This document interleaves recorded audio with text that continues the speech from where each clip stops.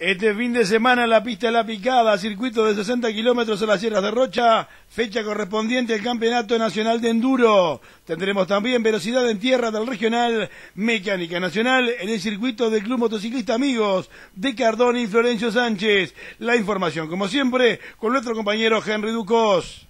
En el Autódromo Juan Níder de Tararira hace tercera fecha del Nacional de la Limitada 31 que organiza el club local conjuntamente la actividad con la Fórmula Volkswagen 1800 y el Turismo 2000 del Club Esparta de Colonia Valdense.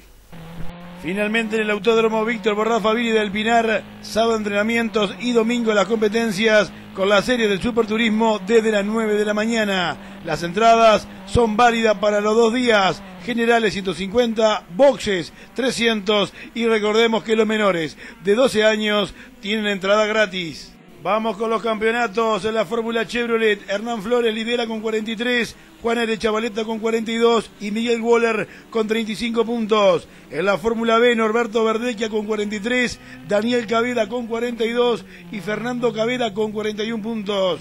En Super Escarabajos, Pablo Chemejian con 41, Ignacio Mazat con 36 y Fernando Mengot con 33 unidades. En el turismo libre está primero Carlos Espósito con 48, Luis de Luca con 41 y Diego Nocetti con 35 puntos.